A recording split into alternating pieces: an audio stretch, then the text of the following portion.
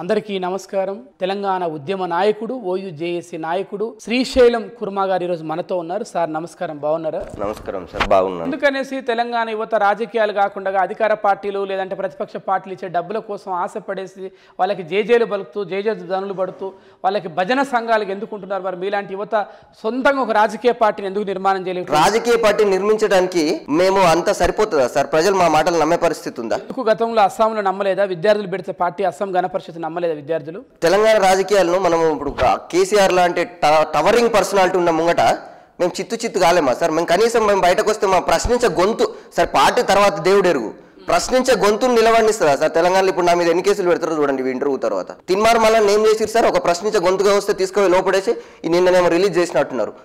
ఇటువంటి వాడు ప్రశ్నిస్తాడు బయటకు సార్ టవరింగ్ పర్సనాలిటీ తెలంగాణను అంగుళం చదివినటువంటి కేసీఆర్ ముంగట పార్టీలు పెట్టి మేము పూర్విస్తామా సార్? కనీసం మేము బతకగలుగుతామా?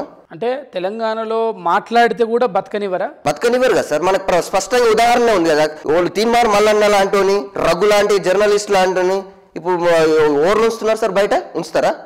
కేసులు పెట్టుకొని లోపల తీసుకుపోయి అలా ఇంటర్లోకి దూరం చేస్తున్నారా? ప్రశ్నించే గొంతులు కనబడుతునిస్తురా తెలంగాణలో? ఇది ప్రశ్నించే గొంతులు తెలంగాణలో లేస్తే సార్ ప్రశ్నించే గొంతు లేనప్పుడు ప్రజాస్వామ్యం పరిణవిలుతుందని మనం అనుకోలేము. చదువుకున్న వాళ్ళవాడు కానీ ప్రజాస్వామ్యం తెలిసినవాడు ప్రజల కొరకు ప్రజల చేత నిర్మించబడినటువంటి ప్రజాస్వామ్యంలో ప్రశ్నించే గొంతు లేనప్పుడు ప్రశ్నించే పక్షం గట్టిగా ఉన్నప్పుడే పాలక పక్షం గట్టిగా పనిచేస్తుంది. ప్రశ్నించే పక్షమే గట్టిగా లేనప్పుడు పాలక పక్షం ఇష్టమున్న రాజ్యము వెళ్తుంది. ప్రశ్నించే గొంతులు ఉంటేనే ప్రశ్నించేవాడు లేకపోతే పాలించేవాడిదే రాజ్యం అవుతుంది. ఇట్లా రాజ్యంగా కూడా కావాలంటే నాలాంటి గొంతులు తేవాలి. నాలాంటి విద్యావంతులు అందరూ కూడా బయటకు రావాలి. విద్యావంతులు అంతా బయటకు వచ్చి ఇలాంటివి ప్రశ్నించాలి. ఈ నియంత పాలన ఈ నియంత పాలనని ప్రశ్నించాలి. ఈ నియంత పాలన పారదోలే వరకు కూడా విద్యావంతులంతా కూడా రాజకీయాలు నియంత పాలన అంటున్నాడు. నిన్న అలడ కేసీఆర్ గారి ప్రెస్ మీట్ నువ్వు విన్నావా? మీరు విన్నారు అసలు? తెలంగాణ అనే పదాన్ని కనిపెట్టింది నేనే. First point. రెండు ప్రపంచంలో నాలాంటి గొప్ప నాయకుడు లేడు. నాకు వ్యతిరేకంగా మాట్లాడేది బిడ్డ మీ అంతు తేలుస్తా. ఎవడన్నా సోషల్ మీడియాలో నాకు నెగిటివ్ వార్తలు పెడితే ఇవన్నీ కూడా ముఖ్యమంత్రి గారు అన్నారు వినలేదా మీరు? Two thousand fourteen before KCR గారికి అనుకూలమైనటువంటి ఓట్ బ్యాంక్ ఎంత సార్? Eighty percentage. ఇప్పుడు వ్యతిరేక ఓట్ బ్యాంక్ ఎంత సార్? Eighty eighty percentage.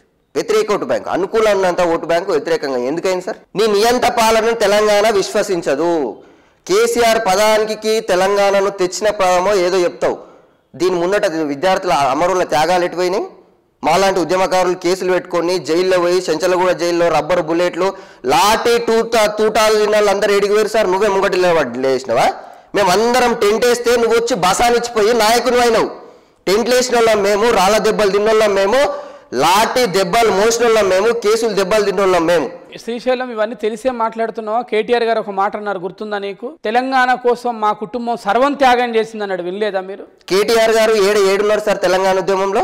ఎప్పుడు వచ్చింది సార్? కేసీ కేటీఆర్ గారు తెలంగాణ ఉద్యమంలో. అమెరికాలో ఎంత జీతం తీసుకుని తెలంగాణ ఉద్యమం ఉవ్వెత్తున పడుతున్నప్పుడు అందరికి తెలియదా కేసీఆర్ గారు దీక్ష చేస్తా అంటే అందరు ఫోన్ చేసి మా అయ్యతో ఎందుకు దీక్ష చేపిస్తున్నారు అబ్బాయి? మాకెందుకు లొల్లి? అనుకోని నువ్వు అందరికి ఫోన్ చేసి విజయరామారావు గారు కానీ బెల్లైన అది ఎవరు రవీంద్ర నాయక్ గారు కానీ ఫోన్ చేసి వద్దన్నమాట వాస్తవం కదా? మాకు తెలియదా ఇన్నారెడ్డికి కూడా చేసి ఇన్నారెడ్డి గారికి ఫోన్ చేసి నువ్వు ఏం చేసినా వద్దు రవయ్య నాకు మా మాకెందుకు ఈ తెలంగాణలో వెళ్ళి మా అయ్యనికి ఇట్లా ఎందుకు చేస్తున్నారు ఈ దీక్షలు భీక్షలు మాకు వద్దురా స్వామి అని చెప్పి నువ్వు అందరికి వద్దన్న వాస్తవం కదా? నువ్వు కేటీఆర్ గారు తెలంగాణ ఉద్యమం జరుగుతున్నప్పుడు నువ్వు అమెరికాలో ఎంత ఉద్యమం ఎంత ఎంత జీతం తీసుకున్నావు తెలియదా ఏడున్నావు నువ్వు? ఏడున్నావు? తెలంగాణలో బతుకమ్మ తీసుకొని వచ్చిన అన్నటువంటి బతుకమ్మ మాకు తెలియదా సార్? తెలంగాణకు రాకముందు? తెలంగాణ వచ్చినాక మా ఆడవాళ్ళకి బతుకమ్మ కవితకు వచ్చిన తర్వాతనే బతుకమ్మ ఆడిరా? అంతకుముందు మొదలుపెట్టినటువంటి కేసీఆర్ కంటే మొదలుపెట్టినటువంటి ప్రొ- ప్రొఫెసర్ జయశంకర్ సార్ ఎటు పోతాడు సార్? మేమే జెండా ఎత్తుకొచ్చినాం మేమే చేసినాం అంటే? అంతకంటే ముందు ఎవరు లేరు అంట కదా కొండలక్ష్మణ్ బాపూజీ కానీ బెల్లి లలిత గారు కానీ మారోజు వీరన్న గారు కానీ వీళ్ళంతా ఎవరు తెలంగాణ కోసం ఆ చెరుకు సుధాకర్ వీరెవరు తెలంగాణ కోసం. చెరుకు సుధాకర్ అనే వ్యక్తులు ఫీడ్ యాక్ట్ మోసిండు తెలంగాణ కోసం. వీళ్ళందరూ తెలంగాణ కోసం గత ప్రాణాలు త్యాగం చేసిన వాళ్ళు నువ్వు. వీళ్ళంతా తెలంగాణ కోసం. తెలంగాణకు నైన్టీన్ సిక్స్టీ ఎయిట్లో పోరాటం చేసిన వాళ్ళు ఎటు పోయినారు? వీళ్ళందరూ ఇప్పుడు వాళ్ళందరూ త్యాగం లేనిదే తెలంగాణ వచ్చిందా సార్? ఎప్పటి నుంచి అరవై సంవత్సరాల పోరాటం? ఇంతమంది త్యాగాలు గొప్పయా? కేసీఆర్ కుటుంబం త్యాగాలు గొప్పయా? ఇంతమంది త్యాగాలు గొప్పయ్యా తెలంగాణ సమాజం చెప్తాను నేను చెప్పుడు కాదు. అంతమంది త్యాగాలు గొప్పయి. ముందటికి వచ్చిందిరా మూమెంట్ అన్నప్పుడు ముందటి వచ్చి నిలబడి ఆ క్రెడిట్ అంతా నువ్వు కొట్టుకుపోయి ఈరోజు ముఖ్యమంత్రి అయిపోయి ఇక నేను నేను నువ్వు అంటే నేను సాగు నోట్ల తలికాయ పెట్టి వచ్చినా సాగు నోట్ల తలికాయ పెట్టి వచ్చినా. అందరు సచ్చైపోయారు కదా సార్. నువ్వు తోటలో తలకాయ పెట్టొచ్చినావు చచ్చిపోయారు కదా. పన్నెండు వందల మంది విద్యార్థులు చచ్చిపోయారు. వాళ్ళ త్యాగం గొప్పదా? కేసీఆర్ త్యాగం గొప్పదా? వాళ్ళ త్యాగం గొప్ప సార్. మీరు ఇంక ఇన్న క్వశ్చన్ ఏముంది? చచ్చిపోయినానికంటే త్యాగం ఎక్కువ ఇంక అంతకంటే ఎక్కువ ఏముంటుంది సార్? మరి వాళ్ళ కుటుంబ సభ్యులు కూడా ఎప్పుడు చెప్పలే కదా? పన్నెండు వందల మంది బిడ్డలు కోల్పోయిన తల్లులు కానీ కడుపు శోకం ఉన్న వాళ్ళు ఎప్పుడు చెప్పలే కదా? ఇన్ని త్యాగాలు చేసినాం మేము అని చెప్పి ఇప్పటిదాకా వాళ్ళు ఎప్పుడు బయటకు వచ్చి కూడా చెప్పలేదు ఏడేళ్ళ సంధి. మస్తుగా చెప్పారు సార్. శ్రీకాంతాచారి తల్లి నేడుంచారు సార్ ఈరోజు? ఆమె మొత్తుకుంటలేదా రోజు వచ్చి? నేను బయట చెప్పిస్తే వస్తారా? రానిస్తారా సార్ కేసీఆర్ గారు? ఎవరు వచ్చిన వాళ్ళు కేసులు పెట్టరా? ఇంకెందుకు కొడుతున్నావు రాబాయ్ అని. అక్కడ లోకల్ లీడర్ రానిస్తాడా సార్? పన్నెండు వందల చచ్చిపోతే ఎంతమందికి సాయం చేసినావు సార్? నాలుగు వందల మందికి చేసి ఇక అయిపోయారు రాబాయ్ ఇంతే మంది చచ్చిపోయినావు అని అంటున్నావు. ఎందుకు సార్ వీళ్ళు ప- నేను రో- నిజామాబాద్ జిల్లాలో డి శ్రీనివాసరావు గెలిస్తే నాకు నేను ప్రాణం తీసుకుంటా. డి సారీ డి శ్రీనివాసరావు గారు ఓడిపోతే నాకు నేను బలిచ్చుకుంటా అనుకొని బలి తీసుకున్నటువంటి మా నిజామాబాద్ మా మెదక్ జిల్లా వాడు వేణుగోపాల్ అనుకుంటా. వేణుగోపాల్ గారు తనకు తను బలిచ్చుకున్నాడు సార్. అంతకంటే గొప్ప త్యాగమా సార్. ఈ కేసీఆర్ కుటుంబాన్ని కేసీఆర్ కుటుంబ సభ్యులదే.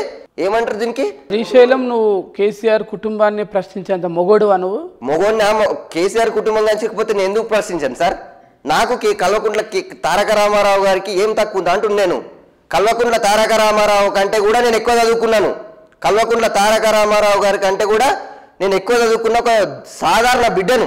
మీరు ఎక్కువ ఎక్కువ మాట్లాడుతున్నారు. రేపేలుండి ఏదో కేసులలో తీర్మానాల నిన్ను కూడా జైల్లో వేస్తారు. మరి నీ ఇష్టం మరిగా. తెలంగాణ ఉద్యమంలో లాఠీ తూటాలు తిన్నాం రబ్బర్లు బూట్లు వేసినాం అరవై డెబ్బై కేసులు మోసినానికి ఇంకొకటి ఒక కేసు పెడితే తెలంగాణ రాష్ట్రంతో డెబ్బై ఒకటి అవుతుంది కానీ నాకేమవుతుంది సార్? అంటే నీకు భూమి మీద బతకాలని ఆశ కానీ పెళ్ళాం పిల్లలతో మంచిగా ఉండాలని కోరిక ఏం లేదా? కోరిక ఆ రోజు తూ రెండు వేల ఎనిమిది రోజే బయలుదేరిన రోజే అనుకున్నాం సార్ మేము. తెలంగాణ ఉద్యమంలో అయితే ఏమంటారు? తెలంగాణ భాషలో అయితే అయితే ఏదో ఒకటి చేద్దామని వచ్చిన వాళ్ళము ఇప్పుడు గీ పిట్ట బెదిరింపులకు గీ గీ చిల్లర మాటలకు మనం భయపడేటోళ్ళం కాదు. భయపడేటోళ్ళం అయితే గా రోజు ఇంటికాడ ఉంటుండే. ఇప్పుడు ఎందుకు భయపడతాం సార్?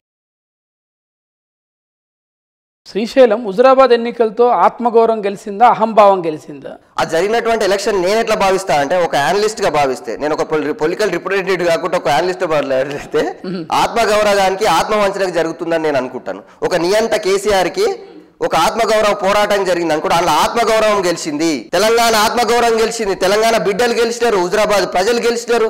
చైతన్యవంతమైనటువంటి హుజరాబాద్ గడ్డ కరెక్ట్ ఆలోచన చేసి దెబ్బ కొట్టింది కేసీ కేసీఆర్ని. ఇది రిహార్సల్. తెలంగాణ సమాజానికి ట్వంటీ ట్వంటీ లో జరగబోయేటటువంటి ఎలక్షన్కి ఇది ఒక రిహార్సల్ లాగా ఉంటుంది అది. అంటే ఈ రిహార్సల్స్లో ప్రజలు విజయం సాధించారా? ఈటల రాజేంద్ర విజయం సాధించాడా? కేసీఆర్ విజయం సాధించాడా? అంటే ఆటోమేటిక్గా ప్రజలు విజయం సాధించారంటే ఈటల రాజేంద్ర విజయం సాధించినట్టే అక్కడ. ఇజర ఈటల రాజేందరే ప్రజల మనిషి అయింది అక్కడ. అంటే శ్రీశైలం ఒక మాట అడగనా?